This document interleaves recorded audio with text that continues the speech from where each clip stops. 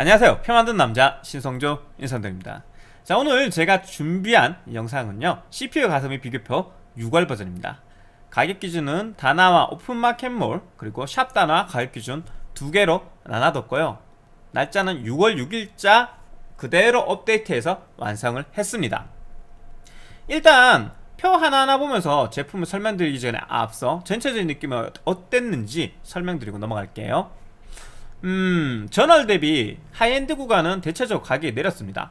이거 내리는 이유가 있는데요. 지금 뭐 3000 시리즈 3070에서 3090 사이 애들 가격이 어떻습니까? 매우 비싸죠. 사기 부담스럽죠.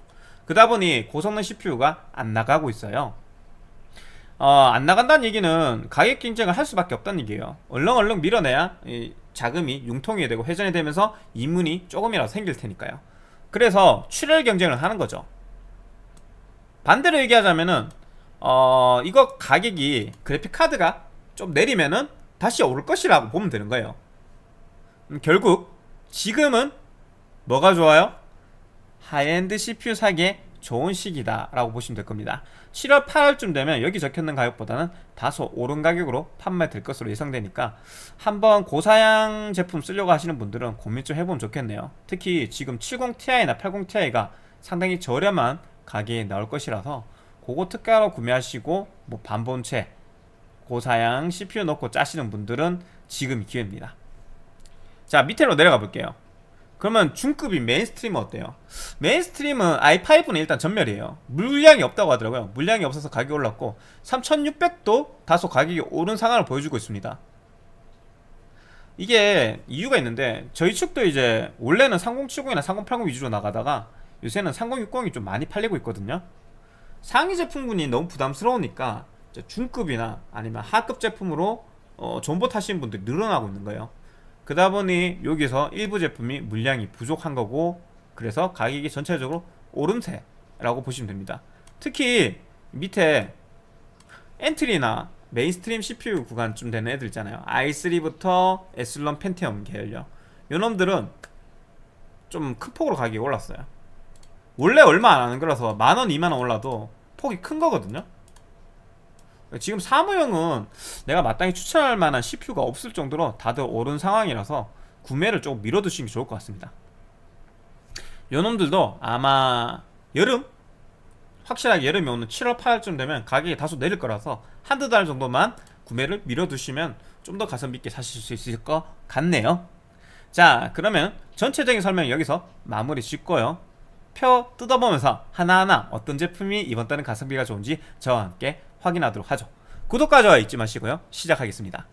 일단 5950X는 여전히 가장 좋은 최상위 CPU입니다. 뭐 스포츠카 느낌이 날 정도로 비싸, 비싸요. CPU 치고는 100만원 하잖아 100만원. 많이 비싸잖아. 게임의 성능도 최고고 멀티 성능 최고고 싱글 성능도 뭐 2등이나 3등쯤 되니까 거의 최고라고 보면 되겠죠. 모든 면에서 최고인 만큼 가성비도 제일 떨어지는 수순이라고 보시면 되고요. 음, 추천은 못 해드리겠지만 최고의 CPU를 갖고 싶다면 한번 생각해 보시는 것도 괜찮을 것 같습니다.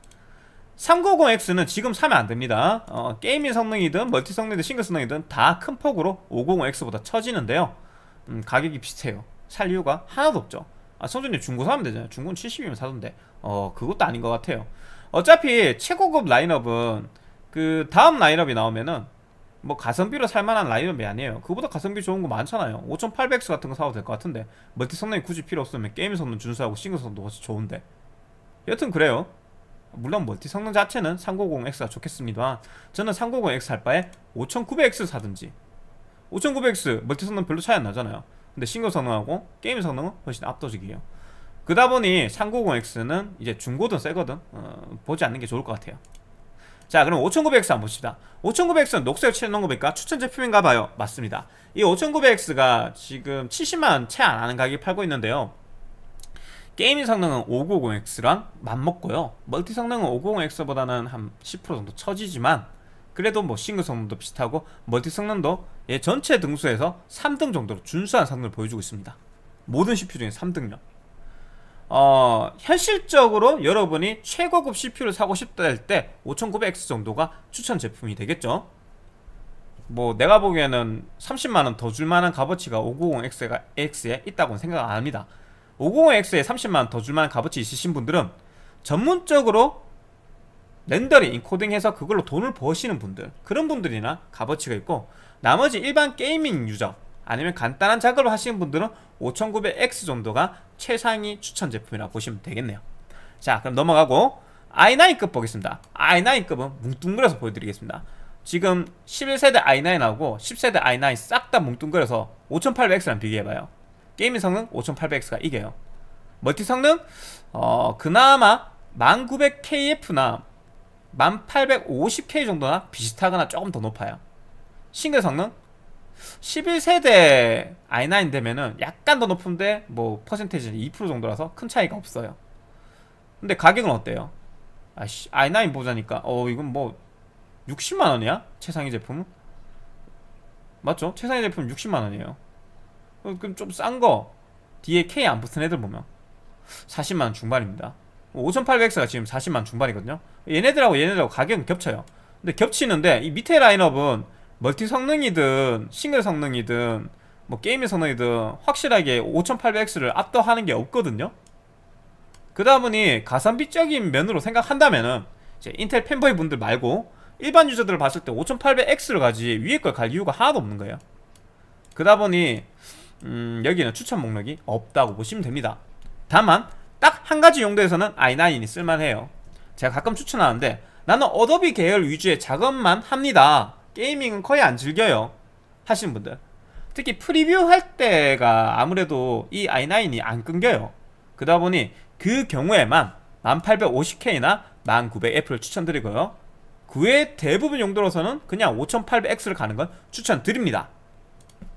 자 5800X까지 마무리 지었고 3900X 한번 볼게요. 3900X 응 안사. 이거 살 돈이면 5800X 사겠어? 라고 생각하시면 됩니다 멀티 성능만 조금 뛰어난데 멀티 성능 한 14% 5% 높겠네요. 나머지 항목에서 큰 폭으로 쳐요. 5800X 대비. 아 그래도 저는 멀티 성능 필요한데요. 그럼 차라리 5900X를 가세요. 10만원 더 주고. 3900은 이제는 놓아줄 때가 되었습니다.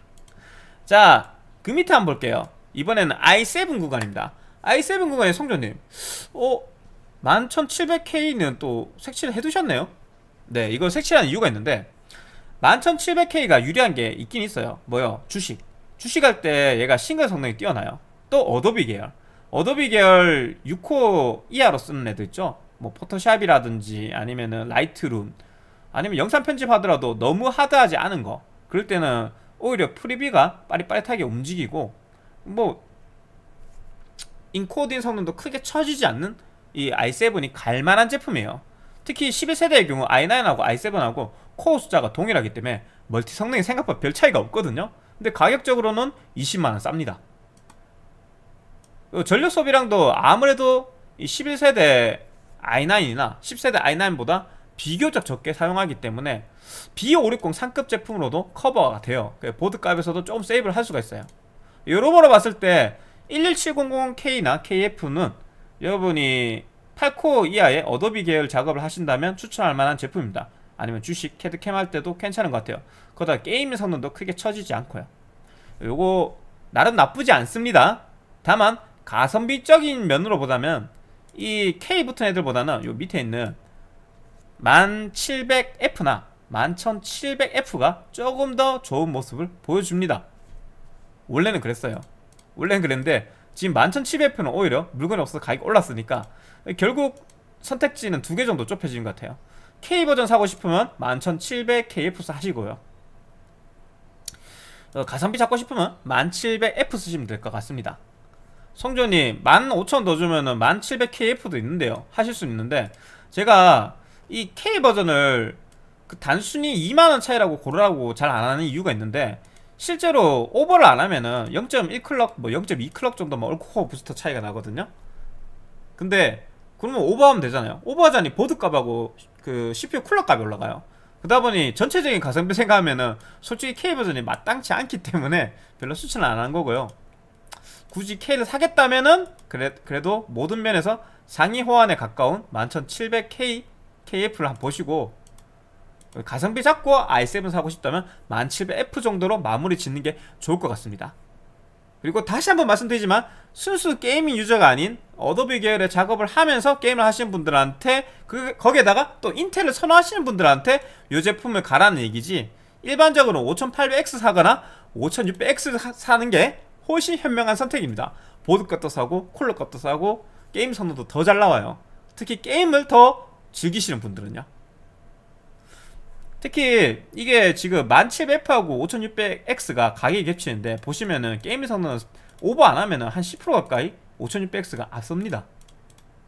멀티 성능은 또 1700F가 10% 앞서는데 어차피 작업 안 하면 이건 의미가 없는 내용이고 싱글 성능도 5600X가 앞서기 때문에 좀 더 빠릿빠릿해요. 단순히 인터넷 창을 열거나 이럴 때도요. 여러모로 5600X가 잘 나온 CPU이기 때문에 코어 숫자가 1700F 대비 적더라도 걱정하지 말고 5600X에 고성능 그래픽카드 장착해서 뭐3080 같은 거 꽂아도 거의 최고 성능 보여주거든요. gaming 세팅을 하시는 게 gaming 유저한테는 가성비가 좋은 선택이 될 겁니다. 5600X가 현재 시점에서 가장 가성비가 좋기도 하고요. 지금 녹색을 해놨는데 요거는 슬그머니 좀더 어, 좋은 색깔인 노란색으로 바꿔주겠습니다. 저는 그래 생각에 노란색이 강추라고 아나 빨간색 빨간색 바꿔주겠습니다 자, 그 다음에 이제 이제는 슬슬 빼도 될 것 같은데 9세대 9세대 CPU 메리트 하나도 없어요. 진짜 하나도 없어요. 아니 여기 여기 밑에 싹 다 메리트 없어요. 자 일단 gaming 성능만 보면 5600X한테 너무 처집니다. 근데 가격적으로 뭐다? 5600X가 33만원인데요. 요 밑에 애들은 뭐예요 이거? 30만원 아니면 그거보다 더 비싸네? 맞죠? 메리트 쥐뿔도 없죠? 근데 gaming 성능 이만큼 많이 차이나요? 10% 혹은 20% 차이나요? 아 성전이 거의 멀티 성능은요? 아 그래 멀티 성능 5600X가 아무래도 6코어다 보니까 어, 조금 처지는 경향을 보이긴 해요. 8코어짜리한테 비교해서요. 근데 그 처진다 캐봤자 20%까지는 차이 안 나요. 10% 진짜 많이 차이 나면 18%예요. 그럼 라이젠 3 시리즈일 때. 싱글 성능은 5600X 압도적이죠. 그러니까 여러분이 멀티 작업이란 걸 염두에 두고 있지 않다면 이 밑에 있는 애들은 쳐다볼 필요가 없는 거예요. 여기서 마무리입니다. 아 그럼 나는 멀티 성능을 염두에 두고 있는데요. 그러면 이걸 왜 가? 어 이걸 왜 가냐고. 그냥 1700F 가면 되지. 멀티 성능 112%인데. 이 밑에 애들 끼껏 해봤자 다 비슷한 수준인데. 맞죠? 다 비슷한 수준이에요. 근데 게임에서는 또 이 1700F가 밑에 애들 그 평정해버려요. 그러다 보니 이 밑에 거는 아예 쳐다볼 값어치가 없는 애들이에요. 15, 16번에 있는 1700F나 5600X 둘 중에서 어느 쪽에 좀 더 중점을 주느냐. 난 작업에 조금 더 중점을 줘요. 그럼 1700F인 거고 gaming에 좀 더 중점을 줘야 하면 5600X인 거지 그래서 이쪽은 싹 다 패스. 그렇게 하이엔드 구간은 정리가 됩니다. 자 그러면은 mainstream 한번 보도록 하죠. mainstream 가면은 5600X가 또 여기 들어가 있는데 이거는 기준점 만 넣어 놓은 거고 무시하시고 밑에 거부터 보시면 됩니다. 11세대 i5부터 라이젠 5 3500까지가 mainstream 쪽에 들어간다 보시면 되고요. 가성비만 보면은 3300X가 제일 나아요. 다만 얘는 코어 숫자가 다소 좀 떨어지기 때문에 멀티 성능이 처지고요. 그리고 그래픽카드 성능이 좋아짐, 좋아질수록 gaming 성능이 좀 처지는 경향을 보여줍니다. 그래픽카드 성능이 2060 이하일 때는 3600이랑 비교해도 별 차이가 안 나는데요. 이게 뭐 한 2080 슈퍼쯤 넘어가면은 좀 벌어지기 시작하고 뭐 3070쯤 가면 좀 더 큰 폭으로 벌어져요. 그다 보니 코어 숫자가 적은 거는 당연히 고성능 그래픽카드 쓰기에는 좀 다소 아쉽다라는 걸 기본적으로 머릿속에 둬야 돼요 3300X가 아무리 가성비가 좋더라도요 특히 3070 정도 쓰시면은 뭐 성능 20% 넘게 차이 나거든요? 3070에서 20%면은 얼마에 값어치일 것 같아요? 3, 40만원 값어치예요. CPU에서 그 아이 나 똑똑하니까 가성비 제일 좋은 거 골랐네. 20만원 아껴서 그러면 그래픽카드에서 40만원 손해봤기 때문에 결국 마이너스 20만원 손해본 거예요. 이해하셨죠? 그래서 고성능 CPU 가야 되는 라인업이 있습니다 3000 시리즈 3060 Ti 이상쯤 되면 5600X 쓰는 걸 추천드리고요. 가성비가 다소 떨어지더라도요. 모든 면에서 얘가 훨씬 좋으니까.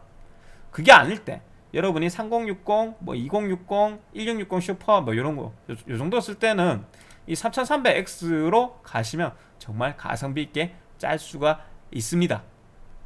자, 이 위아래로 다 평정이 되는 게 잘 봐요. 게임의 성능은 그 위에가 조금 더 좋은 것 같긴 한데. 근데 가격 보니까 어 갑자기 큰 폭으로 오르네요 위는 다 20만원 심지어 30만짜리도 있어. 이 돈이면 차라리 뭐 사요? 아, 돈 좀 더 보태고 5600 사거나 아니면 3600 쓰는 게 맞지. 이쪽 선에서 다 여기를 정리한단 말이에요. 3600이 요 밑에 라인업은 싹 다 정리할 정도 게임 성능 좋고 멀티 성능도 뛰어나고 싱글 성능도 처지잖아요. 맞죠? 요 밑에까지 싹 다 정리한단 말이야. 근데 요게 지금 다소 올라서 원래 17만원인데 다소 올라서 21만원이에요 누가 그러시더라고요? 성전님. 저번 달 대비 3600이 많이 올랐는데 그러면 안 사야 되는 거 아닌가요? 아이 천만의 말씀. i5도 올랐기 때문에 솔직히 똑같은 비율로 올랐기 때문에 여전히 이 라인업을 산다 그러면은 결국 둘 중에 하나입니다. 3600 가느냐? 아니면 3300X 가느냐? 어, 이 선택은 어떻게 하냐면은 멀티 성능이 조금이라도 필요하다고 하시는 분난 모바일 게임 돌리면서 일반 게임을 해요. 아니면 난 조금 더 성능 좋은 그래픽카드 쓰고 싶어요. 3060 정도. 그 정도면은 3600 가시는 거고 나는 2060 이하로 쓸 거예요. 그러면은 그냥 3300X 가시는 거예요. 어, 성준 저는 3060 Ti나 6700XT나 아니면 3070 가고 싶은데 하면 5600X 가는 거고. 딴 애들은 어, 어느 뭐로 봐도 딱히 크게 메리트가 없어요. 얘 정도 가격이면은 차라리 돈 5만원 더 주고 5600 가는 게 맞는 거고 여기 라인업 가격이면. 맞죠? 모든 면에서 압도적인데. 어, 이 정도 가격대에서 보자니 3700이 제일 나은 선택이고 또 밑에 가격에서 보자니 3300X가 제일 나은 선택 여튼 이런 식으로 좁혀지기 때문에 mainstream도 딱 녹색 칠해놓은 애들만 쓸만하고 나머지는 제끼시면 될 것 같습니다 하나하나 설명 따로 안 할게요 제끼면 돼요 그냥 자, 그 다음은 엔트리 한번 봅시다. 엔트리는 음... 살 거 없어. 내가 저번 달도 살 거 없다 그랬는데 더 올랐네? 제정신인가? 그나마 있잖아요. 그나마. 그나마 가성비 있어 보이는 거는 1100F거든요? 근데 1100F는 송전님 내장 그래픽이 없잖아요. 근데 전 내장 그래픽 꼭 필요해요. 아, 차라리 1030이나 달아 쓰세요. 이게 애매한 게 내장 그래픽 필요해서 4350G로 가자니 이 만첩 F 아 만백 F 플러스 1030의 가격이 비슷하고요 그렇다고 뭐 3400G를 가자니 오히려 그거보다 더 비싸고 또 3200G를 가자니 돈 조금만 더 보태면은 만백 F 플러스 1030 갖는 거랑 가격이 비슷해. 펜템 에슬론 가자니 성능이 너무 떨어져. 얘네들 2코짜리니까. 그러다 보니 여기는 아예 그냥 살만한 게 없어요. 사무용 견적 그냥 50만원 높여 잡고 1030 집어넣고 만백F 쓰시는 게 오히려 좋은 조합이 될 것 같습니다. 아마 제 월간 견적도 그런 식으로 바뀔 거예요.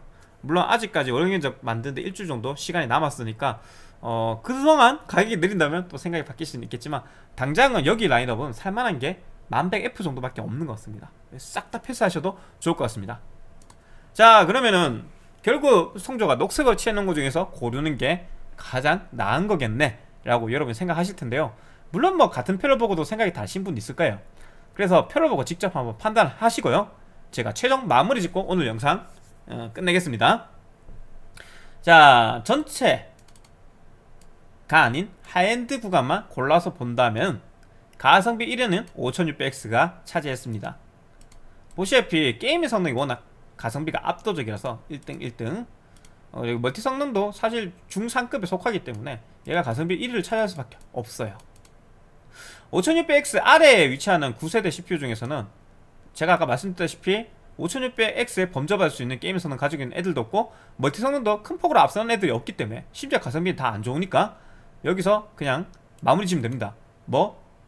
5600X 혹은 1700F 1700F가 가성비 2등이거든요.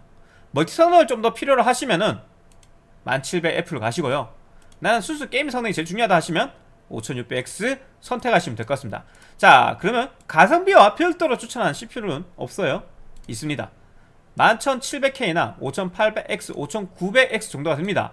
1700K는 이제 오버해주면은 11900K와 별 차이 없는 싱글 성능하고 게임 성능 거기다 어도비 계열 작업 성능을 보여주기 때문에 사실 오버 안 해도 어도비 계열이나 주식에서 큰 차이가 안 나요.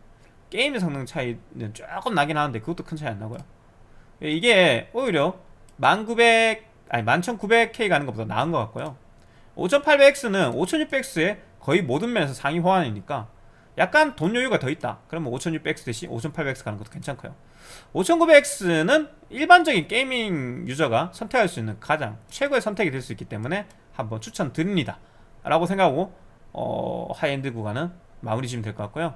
mainstream은 전체 가성비 1위는 3300X가 차지했지만 얘 절대 성능이 떨어지기 때문에 여러분이 좀 고성능 그래픽카드 사용한다면 그냥 5600X 쓰라고 말씀드리고 싶어요 어느 정도에서 나누면 되냐면은 3060 이하급은 아니 30, 3060 정도는 그냥 3600 쓰시고요. 2060 이하는 3300X 쓰시고 그리고 여러분이 3060 Ti나 6700XT 이상을 쓰신다면 5600 쓰는 게 딱 밸런스가 맞아요. 그 제가 일일이 영상으로 찍어가지고 테스트한 구간이 있으니까 제 유튜브 영상 참조하시면 될 것 같고요. 전체 가성비 2위는 3500이지만 3300X의 하위 호환인데다가 가격이 동일하기 때문에 추천하지는 않습니다. 가성비가 무조건 좋다고 이거 사면 안 돼요. 왜냐하면 3300X하고 비교했을 때 게임의 성능이 좋길라나 멀티 성능이 좋길라나 싱글 성능이 좋길라나 하나도 좋은 게 없잖아요. 그냥 가성비만 이득인 거예요. 하위 호환. 심지어 가격도 천 원 더 비싸. 그 성저가 늘 가성비만 보고 추천하는 게 아니라 가성비랑 조금 다르게 추천하는 이유가 이런 것 때문에 그렇습니다 똑같은 가격에 하위 호환인 애들 굳이 고를 필요는 없잖아요. 가성비 2등이든 3등이든. 그래서 어, 어느 정도 겹치는 구간이 있으면은 그 중에 가장 가성비 좋은 거 하나씩 뽑아서 각 장점을 뽑았을 수 있게 여러분 추천한데 생각하시면 될 거예요. 자 엔트리 구간. 어, 살 거 없다. 패스하자. 없어요? 자 그렇게 6월달 CPU 가성비 비교표 마무리 지었고요. 어때요? 영상이 구매하시는데 실제로 도움이 되시나요? 도움이 된다 생각하시면 구독과 좋아요 잊지 마시고요. 다음 시간에는 그래픽카드 가성비 비교표로 만나 뵙겠습니다. 자 여러분 바이바이